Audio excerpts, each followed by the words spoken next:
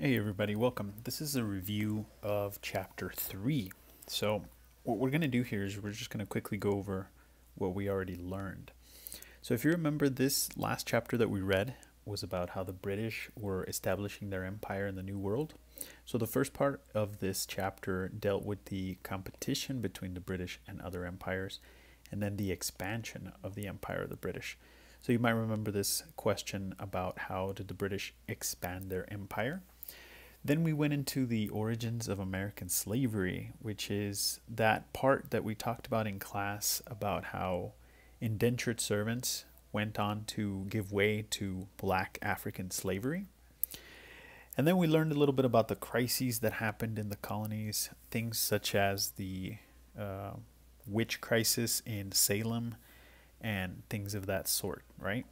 So if we keep going here, we'll find that we also reviewed a little bit about the, the way that the colonies were shaped. In other words, who came to the colonies, who were the immigrants that came here to colonial America. And the final part of this chapter dealt with the social classes in these uh, colonies. So, people, gender roles, which people were at the top of the social classes, etc. Right? So, that's essentially chapter 3. Now, if you look here, this is a little preview of chapter 4. So, in chapter 4, what we're going to be learning about is, as Foner titles it, slavery, freedom, and the struggle for empire. So let's let's talk a little bit about this because in this chapter what you're going to be looking at is how slavery helped the British Empire grow.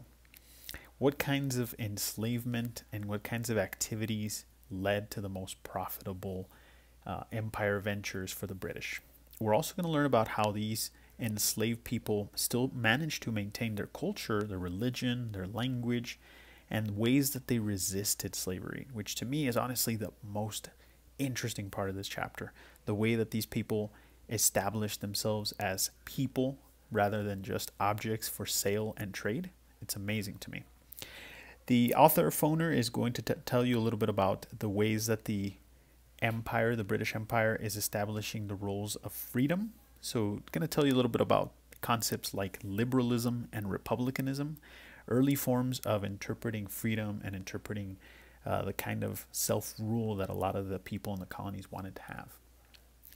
He's going to tell you a little bit about the way that these people sort of organize themselves in the public sphere which means how did they form committees, where did they go vote, things of that nature. He's going to lead you into a conversation again into a very important topic called the Great Awakening, which is sort of this religious revival that is going to take place in the colonies around the turn of the 18th century. And so in this sense, the chapter is is uh, packed with a lot of information about the way that the public is viewing their role in the empire, and and their freedom in the empire.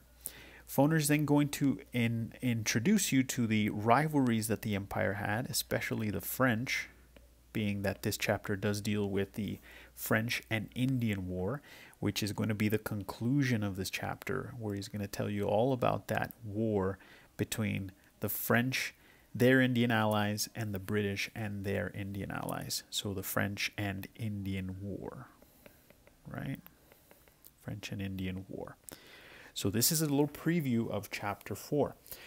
Now, the the chapter is divided into seven subsections, but uh, in class we're going to be discussing just a few of these, just a handful of these. Uh, so please make sure that you read the chapter thoroughly and that you take notes while you read. Thanks.